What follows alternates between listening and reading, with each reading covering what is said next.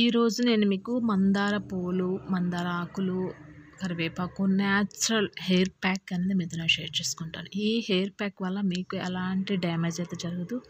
ముందుగా hair fall అనేది ఇమీడియట్గా స్టాప్ అయిపోతుంది. హెయిర్ గ్రోత్ అనేది చాలా హెల్దీగా జరుగుతుంది. అది కూడా హెయిర్ చాలా బ్లాక్గా చాలా ఒత్తుగా అలాగే చాలా మెరుస్తూ షైనీగా ఉంటుంది. సో ఈ ప్యాక్ అనేది ఎవరైనా మిస్ అయ్యారంటే కనుక మీరు మీకు సొల్యూషన్ దొరకలేనట్టేనండి హెయిర్కి. సో కాబట్టి అసలు మీరు ఈ ప్యాక్ అనేది మిస్ అవ్వకుండా చూడండి అలాగే షేర్ చేయండి. హాయ్ అండి హలో అందరికీ నమస్తే. Welcome back to our channel. Jojo Ideas. అందరూ ఎలా ఉన్నారండి? నేనైతే చాలా బాగున్నాను.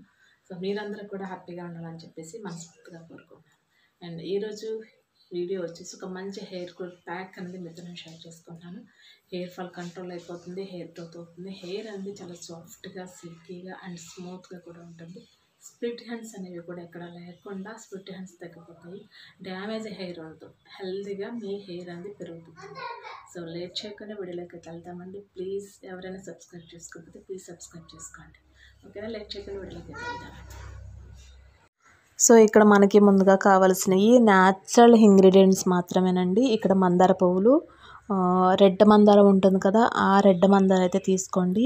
ఈ మందార పువ్వులు అనేది హెయిర్కి చాలా మంచిది. హెయిర్ గ్రోత్ అవ్వడానికి హెయిర్ ఫాల్ కంట్రోల్ అవ్వడానికి అలాగే హెయిర్ అనేది స్మూత్గా సిల్కీ ఉండడానికి చాలా ఉపయోగపడుతుంది. అదేవిధంగా చాలామందికి పేను కొరుగుడు అంటారు కదా పేలు ఉండడం వల్ల ఏమవుతుందంటే కొరికేస్తుంది అని చెప్పేసి అంటారు. అంటే ఆ ఏరియా అంతా కూడా హెయిర్ అనేది లాస్ అయిపోతుంది. సో అటువంటి వాళ్ళకి మందార పువ్వులు అనేవి చాలా మంచి బెస్ట్ రిజల్ట్ అని చెప్పుకోవచ్చు అనమాట సో ఇక్కడ నేను మొగ్గలు కాదండి ఇవి. మార్నింగ్ కోసి పక్కన పెడితే అవి ఇలా ముడుచుకుపోయినాయి అనమాట అండ్ సెకండ్ వచ్చి వచ్చేసి కరివేపాకు కర్రీ లీవ్స్ అండి. ఈ కరివేపాకు వల్ల కూడా హెయిర్ అనేది గ్రోత్ చాలా బాగా పెరుగుతుంది. హెయిర్ ఫాల్ కంట్రోల్ అయిపోతుంది. వైట్ హెయిర్ ఉన్న వాళ్ళకి కరివేపాకు అనేది చాలా బాగా ఉపయోగపడుతుంది. అండ్ థర్డ్ వన్ వచ్చేసి జామాకులు అండి. జామాకుల కోసం చాలామందికి తెలియదు హెయిర్కి అప్లై చేసుకుంటారా అని చెప్పేసి. బట్ నిజంగా అమేజింగ్ రిజల్ట్ అనేది చాలా అద్భుతంగా పనిచేస్తుంది అనమాట జామాకులు అనేవి. సో ఇప్పుడు ప్రాసెస్ అనేది చూద్దామండి. ఈ సింపుల్ ఇంగ్రీడియంట్స్ తోటే మనం ఇంట్లో హెయిర్ గ్రోత్ ప్యాక్ అయినా కానీ లేదంటే హెయిర్ ఫాల్ కంట్రోల్కి కానీ సో ఈ విధంగా మనం ఇంట్లోనే కనుక మనం ప్యాక్స్ అవి ప్రిపేర్ చేసుకుని హెయిర్కి అప్లై చేసుకుంటే హెయిర్ అనేది ఎక్కడ డ్యామేజ్ అవ్వకుండా ఉంటుంది. ముందు ముందు హెయిర్ ఫాల్ కంట్రోల్ కూడా అవ్వదండి. కెమికల్ లేనటువంటి హెయిర్ ప్యాక్స్ అనేవి మనకి దొరుకుతాయి అన్నమాట చక్కగా ఇంట్లోనే వేసుకుంటేనే. సో ఈ విధంగా మందార పువ్వులు ఏంటంటే కనుక తడుగులన్నీ తీసేసి మనం ఇలాగా చిన్న చిన్న రేకులు ఉంటాయి కదా రేకులన్నీ కూడా పెటల్స్ అన్నీ కూడా తీసేసి మనం పక్కన పెట్టుకోవాలి. తొడుగులు వేసుకోకండి. అలాగే మధ్యలో ఉన్నటువంటి చూసారు కదా ఒక ఫ్లవర్లా ఉంటుంది. అది కూడా తీసేసేయండి. అది అండ్ తొడుగులు కూడా తీసేసి మీరు పక్కన పెట్టుకోండి. అండ్ సెకండ్ వన్ వచ్చేసి కరివేపాకులు కూడా మనం వాష్ చేసి పక్కన పెట్టేసుకొని మిక్సీ జార్లో వేసుకోవాలి.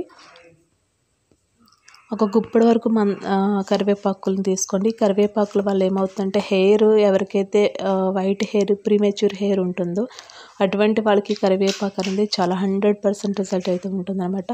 హెయిర్ ఫాల్ కంట్రోల్కి సూపర్ రెమెడీ అని చెప్పుకోవచ్చు.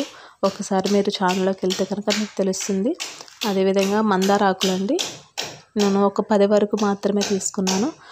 సో ఈ మందార ఆకుల వల్ల కూడా హెయిర్ అనేది చక్కగా స్మూత్గా సిల్కీగా అవుతుంది అనమాట అండ్ ఫోర్త్ వన్ వచ్చేసి జామాకులు. లేతవి తీసుకోండి. ఇలాగ మనం కట్ చేసుకుని పక్కన పెట్టేసుకుని చక్కగా వాష్ చేసుకున్న తర్వాత మనం మిక్సీ జార్లో వేసుకుని మిక్సీ పట్టుకోవాలి. ఇప్పుడు నేను మిక్సీ పట్టిన తర్వాత చూపిస్తాను మీకు. సో ఇప్పుడు మిక్సీ పట్టేసి చూపిస్తాను. ఈ విధంగా ముందు వాటర్ వేయకుండా మిక్సీ పెట్టుకోండి. సో ఇదేంటంటే కనుక గంజి. అన్నము కొంచెం హాఫ్ బాయిల్ అయిన తర్వాత గంజి ఉంటుంది కదా ఆ గంజి తీసుకున్న గ్లాస్ పక్కన పెట్టుకున్నాను నేను. సో గంజి వల్ల హెయిర్ గ్రోత్ అనేది సూపర్గా పెరుగుతుందండి.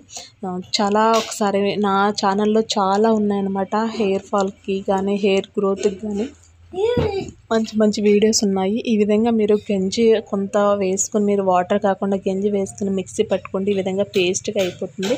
ఇప్పుడు దీన్ని మనం ఒక బౌల్లో తీసేసుకుందాం.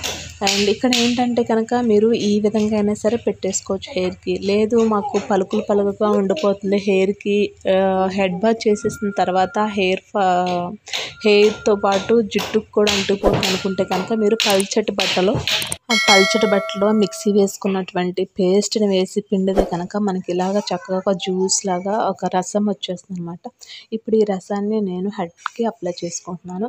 ఇది కూడా ఏంటంటే హెడ్ బాత్ చేసిన తర్వాత కదండి ఆయిల్ పెట్టుకున్న హెయిర్ మీద నేను అప్లై చేసేసుకుంటున్నాను. ఎలాగంటే కనుక మీరు హెడ్ బాత్ చేసిన హెయిర్ మీదే పెట్టుకోవాలా లేదంటే ఆయిల్ హెయిర్ మీద పెట్టుకోవాలన్నా అనే డౌట్ వస్తుందండి. మనం ఏ ఆయిల్ మీద ఆయిల్ హెయిర్ మీద పెట్టుకున్నా డ్రై హెయిర్ మీద పెట్టుకున్నా కానీ మనకి అబ్జర్వ్ చేసుకోవాల్సింది స్కాల్ఫ్ తలమాడు.